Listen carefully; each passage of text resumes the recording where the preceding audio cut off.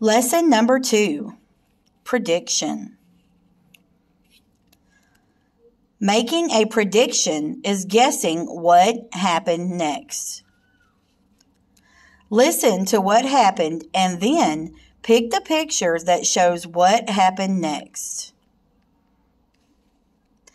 Number one, Alexander went to his friend's birthday party and ate a big dish of cake and ice cream. He drank two glasses of juice. After he got home, he ate a lot of candy from the birthday pinata. Circle the picture that shows what happened next. Alexander played with his dad's pocket watch. Alexander felt sick, or Alexander felt dizzy. Circle which option you think happened next.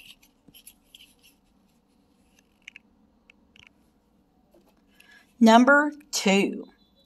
Billy worked on the science experiment with his partner, Diane. Then the teacher told all the students to come back to the big table by the chalkboard. The teacher asked if someone could explain what happened in the experiment. Circle the picture that shows what happened next. Billy and Diane worked on the science experiment. Billy asked another student for help with the experiment. Or Billy raised his hand because he knew the answer. Circle your choice on what you think happened next.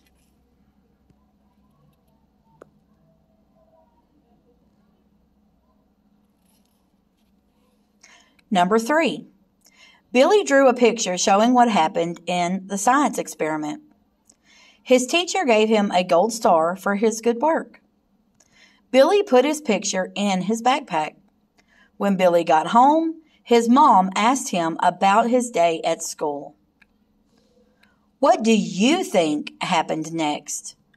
What is your prediction? Write it in the space provided.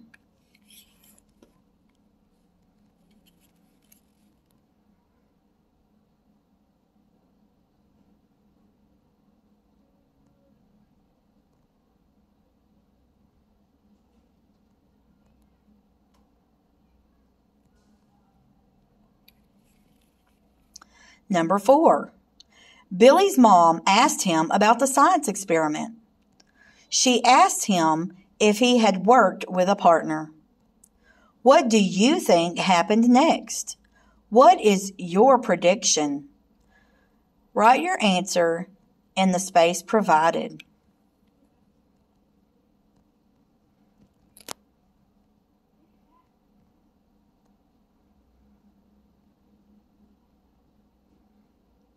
If you need any additional time to complete this assignment, you may rewind the video and go back over your questions.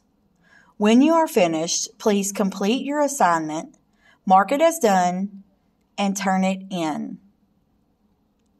If you have any additional questions over your assignment, please do not hesitate to let me know.